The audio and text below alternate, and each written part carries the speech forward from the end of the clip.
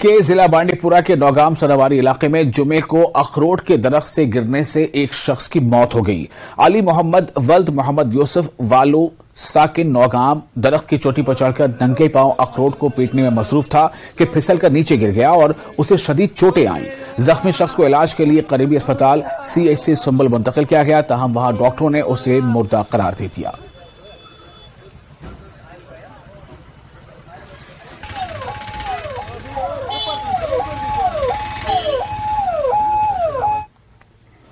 पुंछ के मोहल्ला शंकर नगर में शराब की दुकान खोलने के खिलाफ चंद लोगों ने सड़क को जाम कर दिया और टेंट लगाकर शदीद एहतजाज किया। पुलिस ने एहतजाज करने वाले एक वकील समेत चंद लोगों को हिरासत में लेकर थाने ले गई। इस कार्रवाई के हवाले से पुलिस और इंसाविया ने मीडिया से किसी भी किस्म की कोई बात नहीं की।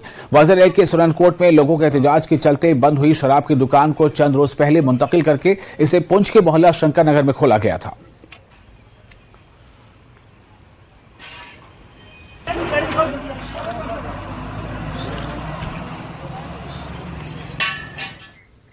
और फ़िलहाल एक छोटा सा ब्रेक लेते हैं। ब्रेक के बाद खबरों का सिलसिला जारी रहेगा।